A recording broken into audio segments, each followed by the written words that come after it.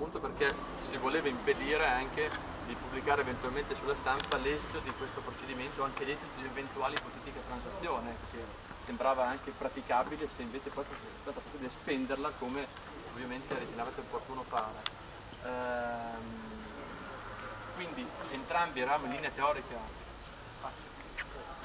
così, eh, disposti ad accettare la proposta del giudice, però noi ovviamente non possiamo rinunciare a questa questa condizione, ovvero quella di impedire, cioè di mandare alla stampa e poi non fare nessun commento. Ecco, Quindi loro hanno voluto precisare questo, appunto. io ho precisato che questa è una condizione praticamente impossibile da praticare perché ovviamente se gli otto citati si fossero anche tenuti in questo accordo, ma gli altri 45 invece che sono parti strane potevano fare eh, quello che volevano di quel verbale, non è che sia necessario e quindi il giudice ha trattenuto la causa in decisione che molto probabilmente deciderà il pomeriggio in questi termini. Dichiarerà cessata comunque la materia di contendere perché loro hanno anche dichiarato che da due o tre giorni è venuto meno il blocco. Io ho dichiarato che secondo me non è mai esistito, comunque il dato di fatto è che oggi non c'è e quindi nei ricorsi cautelari come questo il pericolo deve sussistere anche al momento della decisione.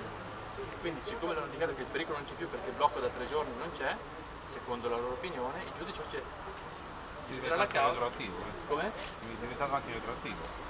Due la causa dicendo che c'è stata la materia di contendere e quindi la causa è estinta. Però a quel punto noi non abbiamo A quel punto voi avete mani libere di poter fare quello che volete sui giornali. chiaro, da solo, eventualmente anche di poter valutare insieme anche con gli altri che non sono venuti.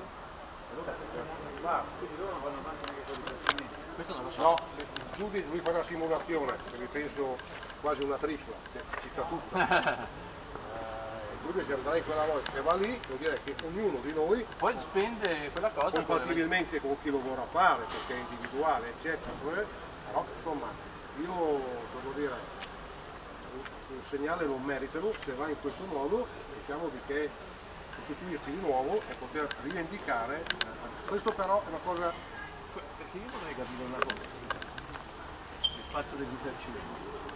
Se adesso, eh, come dice lei, decade la Sì, però non c'è una rinuncia da parte loro, cioè non è tutto fatto C'è, ma tutto- su che base poi possono richiedere, se non hanno un risarcimento, se non c'è stato No, posso dire risarcimento per i giorni che vanno dal 3 al 16.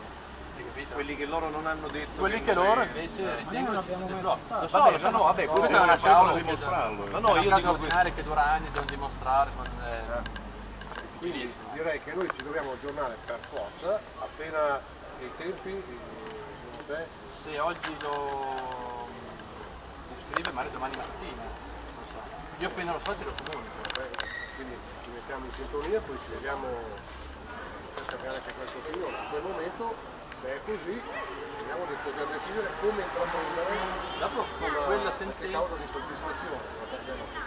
con quella sentenza poi tu lo decidi come vuoi. Ecco.